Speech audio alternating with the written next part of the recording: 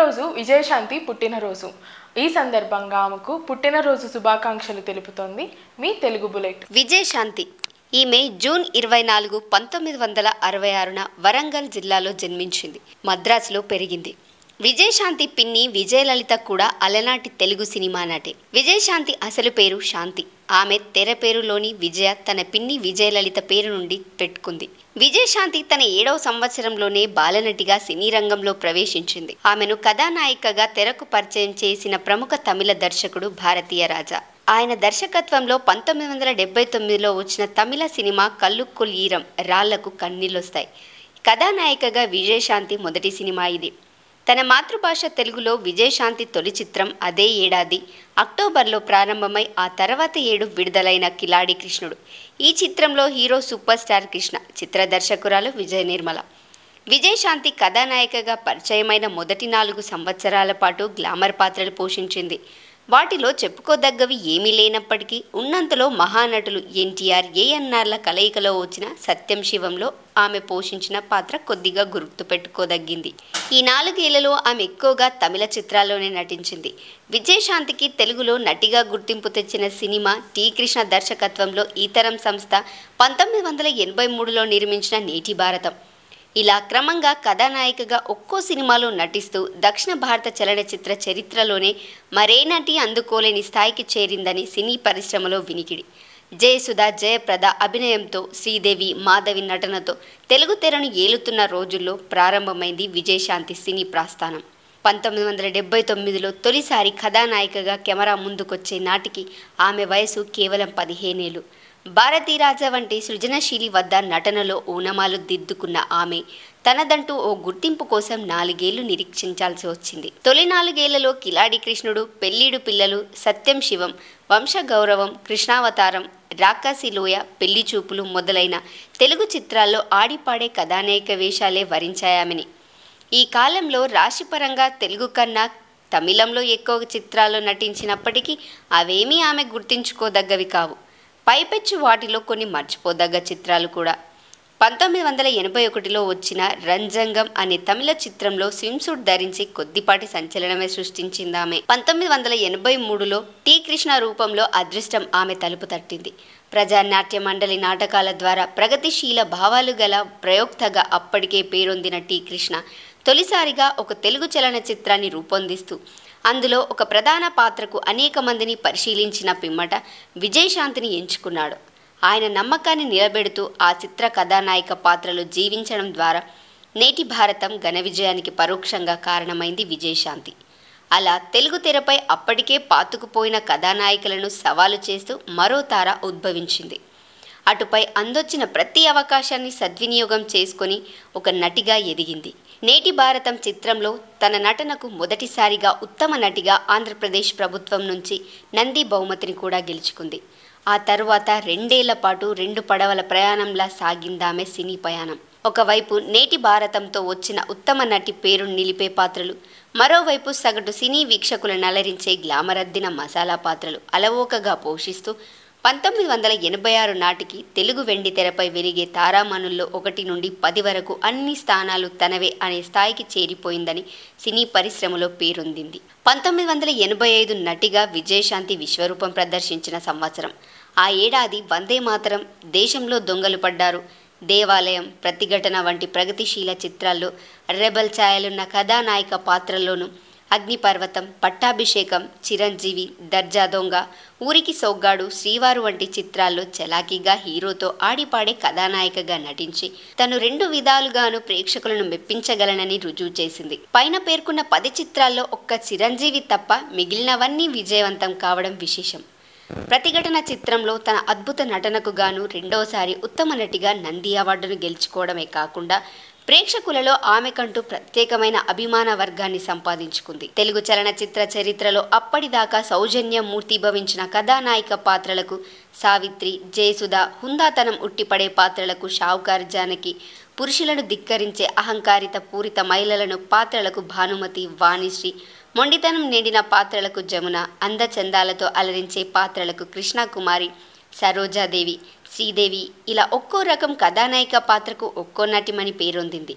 ఆ ఏడాది ఆమె మొత్తం పదమూడు తెలుగు చిత్రాల్లో నటించగా వాటిలో పదకొండు విజయవంతమయ్యాయి. అంతటితో ఆమె తమిళ చిత్రాల్లో నటించడం ఆపేసి తెలుగు చిత్రాలపైనే దృష్టి కేంద్రీకరించింది. కమర్షియల్ చిత్రాల కథానాయికగా కూడా ఆమె దర్శకుల మొదటి ఛాయిస్గా నిలిచింది. ఇటు రేపటి పౌరులు అరుణకిరణం సమాజంలో స్త్రీ శ్రావణ సంధ్య వంటి ప్రాధాన్యత ఉన్న చిత్రాల్లోనూ అటు ముద్దుల కృష్ణయ్య దేశోద్ధారకుడు కొండవీటి రాజా ధైర్యవంతుడు సక్కనుడు బ్రహ్మాస్త్రం వంటి మసాలా చిత్రాల నాయికగాను నటించే తెలుగు సినీ ప్రేక్షకులను ఆకట్టుకుంది. అప్పటి నుండి వరుసగా ఐదేళ్ళ పాటు ఒకదాని వెనుక ఒకటిగా విజయవంతమైన చిత్రాల్లో నటిస్తూ ఆమె విజయపదంలో దూసుకుపోయింది. వాటిలో కథానాయికగా ఆమె గొప్ప పాత్రలు పోషించినవి పడమటి సంధ్యారాగం స్వయం కృషి భారత నారి జానకిరాముడు కొడుకుదిద్దిన కాపురం శత్రువు ముద్దాయి నాగాస్త్రం. పడమటి సంధ్యారాగం జానకిరాముడు చిత్రాల్లో అచ్చ తెలుగు ఆహార్యమైన లంగావోనితో ఆమె పోషించిన సంధ్యా జానకి పాత్రలు ఇప్పటికీ ముద్దబంతి పువ్వు లాంటి తెలుగు పడుచు పిల్ల సౌందర్యానికి వండితేర పర్యాయ పదాలుగా నిలిచిపోయాయి. పైన చెప్పినవే కాక ఆ ఐదేళ్ళలో ఇంద్రుడు చంద్రుడు యముడికి మొగుడు మువ్వ గోపాలుడు ముద్దుల మావయ్య అమ్మాయికి మొగుడు గుండారాజ్యం వంటి విజయవంతమైన చిత్రాల్లో మరీ గొప్పవి కాకపోయినా గుర్తుంచుకోదగ్గ కథానాయక పాత్రలు భార్గవరాముడు.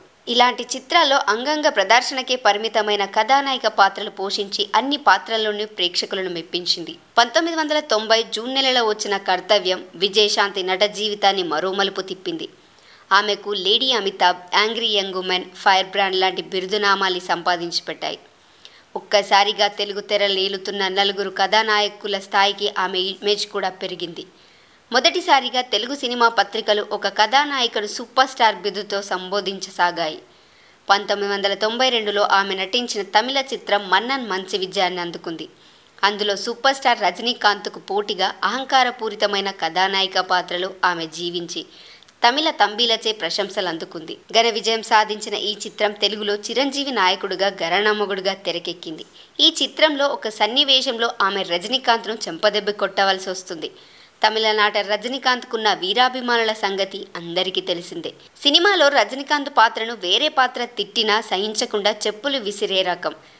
మరే ఇతర నటి ఆ పని చేసినా నా అభిమానులు తెరలు చించేసి ఉండేవారు. విజయశాంతి కాబట్టి వాళ్ళు ఊరుకున్నారు అని ఆ సినిమా శతదినోత్సవ సభలో రజనీకాంత్ పేర్కొన్నాడు. పంతొమ్మిది వందల తొంభై మూడులో విజయశాంతి జీవితంలో ఒక సంఘటన జరిగింది.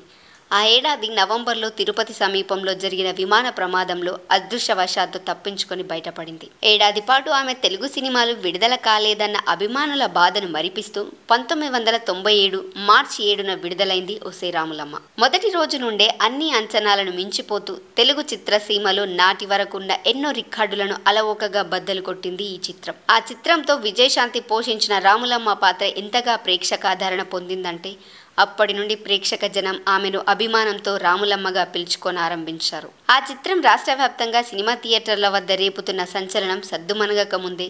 పంతొమ్మిది వందల తొంభై ఏడు జూన్ నెలలో ఆమె ఎవరు ఊహించని విధంగా అప్పటికే కేంద్ర హోంమంత్రి ఎల్కే అద్వానీ సమక్షంలో భారతీయ జనతా పార్టీలో చేరి మరో సంచలనం సృష్టించింది.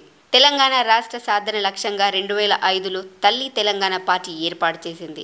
ఆమె అనంతరం ఆ పార్టీని రెండు వేల తొమ్మిదిలో తెలంగాణ రాష్ట్ర సమితిలో విలీనం చేసి టీఆర్ఎస్లో చేరింది. ఆమె రెండు వేల తొమ్మిదిలో మెదక్ పార్లమెంట్ స్థానం నుండి తెలంగాణ రాష్ట్ర సమితి అభ్యర్థిగా పోటీ చేసి ఎంపీగా గెలిచింది.